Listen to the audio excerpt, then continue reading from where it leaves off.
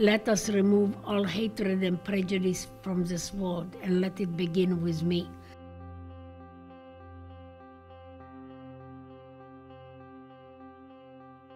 We were told to leave everything behind because they were taking us to Hungary to a labor camp.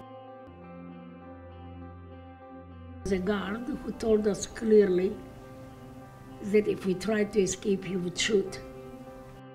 As we were holding on to mother for dear life, a Nazi was running, yelling in German, twins, twins, Zwillinge, Zwillinge.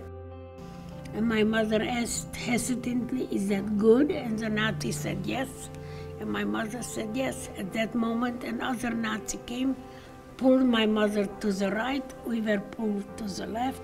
We were crying. She was crying. And all I really remember seeing my mother's arms stretched out in despair as she was pulled away. When I was between life and death, and Mengele stood by my bed and said that I had only two weeks to live.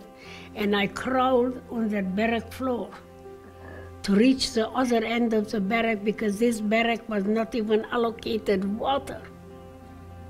So if, as I was crawling, I would fade in and out of consciousness. And I kept telling myself, even in a semi conscious state of mind, that I must survive. I must survive. So if I have a difficulty in life now, it always throws me back to the barrack floor. If I could survive those two weeks, I can survive anything. My sister died in, on June 6, 1993. It was a very difficult, probably second most difficult experience in my life. So two years later, I decided to open the museum where she would be everywhere, and this way my nightmares stopped. And uh, we have been now open over 20 years.